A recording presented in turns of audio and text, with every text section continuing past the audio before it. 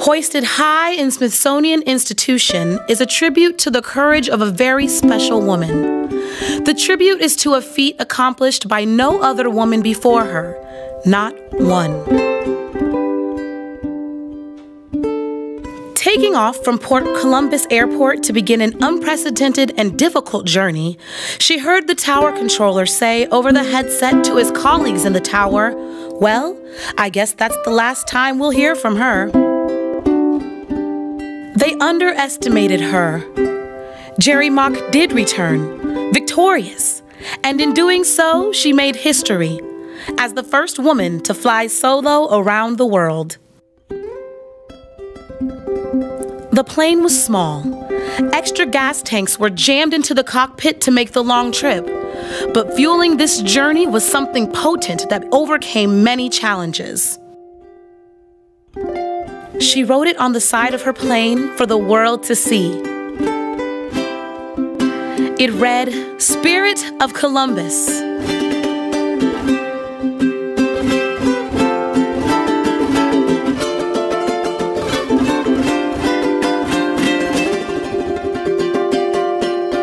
The spirit of Columbus, soaring over fields and oceans to take in and take on the world. More than just the name of a plane that made history, the spirit of Columbus is what distinguishes and inspires us today. From the arts to business, from restaurants to neighborhoods, from Sunday to game day, the spirit of Columbus fuels and defines us today more than ever.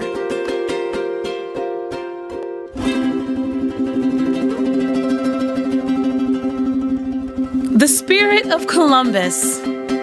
What does it mean to you? The spirit of Columbus. The spirit of Columbus. The spirit of Columbus.